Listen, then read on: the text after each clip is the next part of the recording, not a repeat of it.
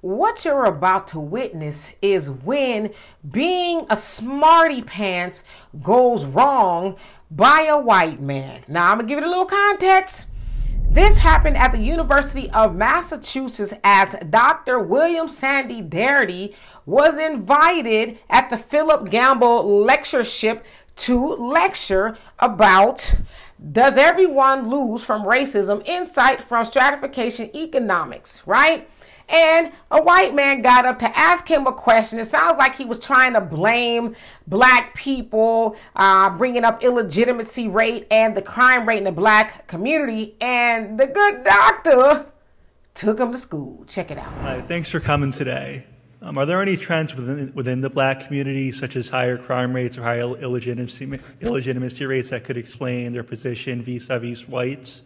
And can those be explained by some dominant social group? No. No to the first one, or no to bo- no to, to both. both.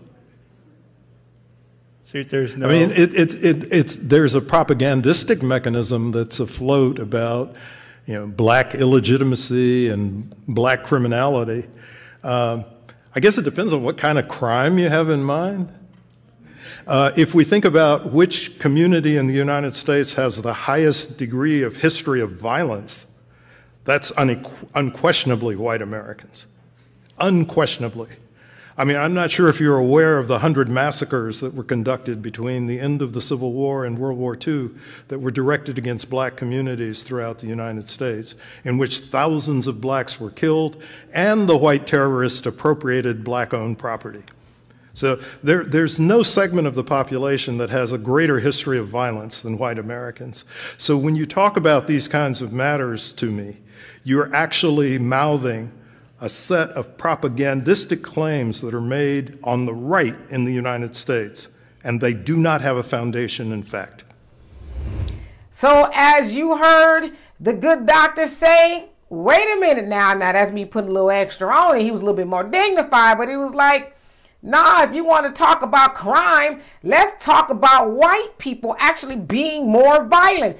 We could take it all the way back to slavery, even the present day, and you will always come up with a number that says that white people have been and are more violent toward black people. So why you sitting up here trying to ask me about the violence and the illegitimacy in the black community? You might want to be focused on what's going on in your community. So you know what? I love it. Of course, Dr. William Sandy Darity is an American economist that focuses on equality and race.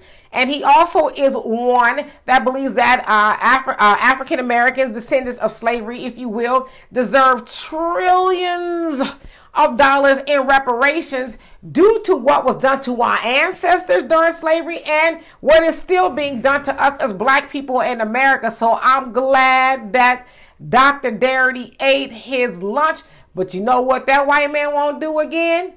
That. So anyway, y'all tell me what you think of that. For more insightful commentary, please subscribe to this channel and my channel, The Demetra Kaye Show here on YouTube. Peace.